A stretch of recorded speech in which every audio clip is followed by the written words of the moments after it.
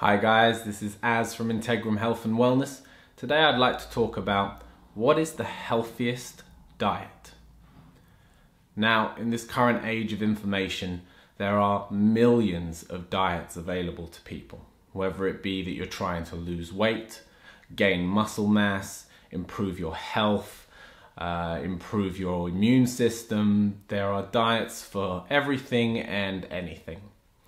I think the first thing to say is to make you aware and to invite you to get rid of the concept of diets. A diet, as normally is sold, is a prescribed program of eating over a duration of time. For example, a 12 week diet, a six week diet, a three month diet, whatever it be. The idea being that at some point it comes to an end. The issue with this whole mindset is, for example, let's say we're taking a six week weight loss diet. You follow the diet, you lose the weight. You get to the end of the six weeks and then you return to your normal style of eating. What's going to happen?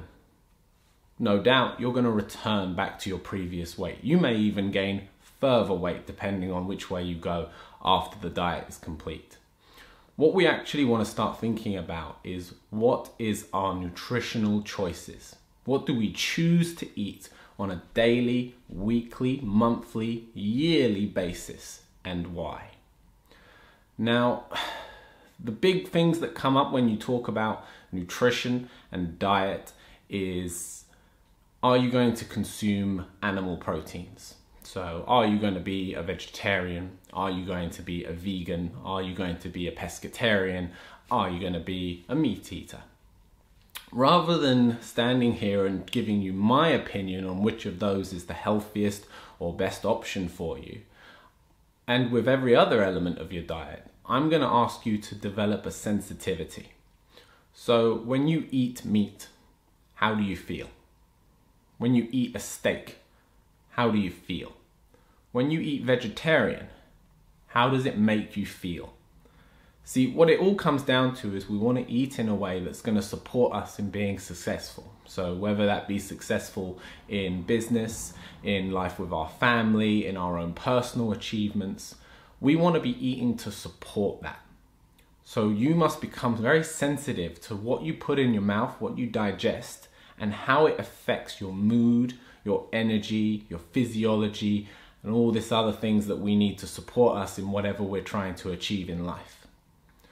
So develop a sensitivity. There is no perfect diet. There is no one size fits all for everybody. It's up to you to develop an education and a consciousness about what you put in your mouth and how you digest it. Things to consider. Are you going to eat meat? Are you going to eat dairy products? Do you suffer from any intolerances or allergies? These things are really important. It's really important to understand what these things are, do your research. There are loads of videos coming up on Integrum that will give you more information on all of these subjects and make a conscious personal decision. Note that today we're talking purely about health, so we're not getting into whether or not you think it's environmentally friendly or animal cruelty. We're trying to think of things today from a rather selfish point of view of what is best for you. So, in summary, when looking for the perfect diet, I'd recommend a diet of education, research, and conscious mindfulness about what you consume. This is Az from Integrum Health and Wellness, wishing you well.